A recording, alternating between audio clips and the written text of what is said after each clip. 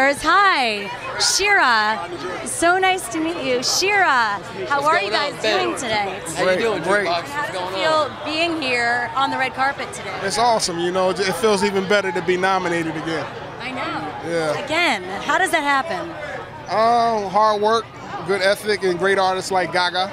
It makes it makes it better for us. What did you think about her grand entrance tonight? You know, she's about to hatch, and she's letting she's letting everybody know, like, hey, listen, I'm about to hatch. Something's about to happen. Loves her hats. There's gonna be some little lady goglets. They're gonna right. they're gonna open. you Little know, monsters. Little Little little monsters. goglet monsters. You Now, know. Jukebox, who's your favorites the, this year out of all the nominee pool?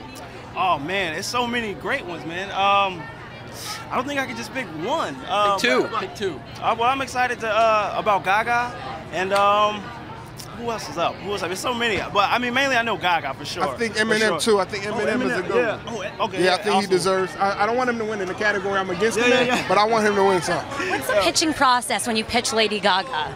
You know what? I don't pitch Lady Gaga. We, we had a chance to work together on a song called Telephone with me, her and Beyonce, and it was just like it was organic. We just decided to write together, and we started writing, and next thing you know, that song came out. And and having the three, the two of them in a room together must have been pretty fun. Were they able to work together at all? do- We had to do Beyonce's part in Japan. She was on tour, so we had to do her part. So it was really crazy.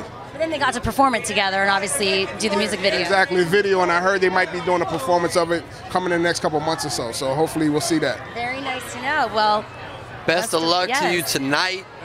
Uh, hopefully it turns out if Eminem does win in the category. I don't know. How are you going to react? Um, our platform, you know, I always appreciate the competition. Like I said, I'm happy to be part of it. Yeah. Yeah. But we'll win. perspective. but we'll win. That's the attitude. Nicely done. Nice to see Thank you you. for stopping. I really appreciate it. Good luck.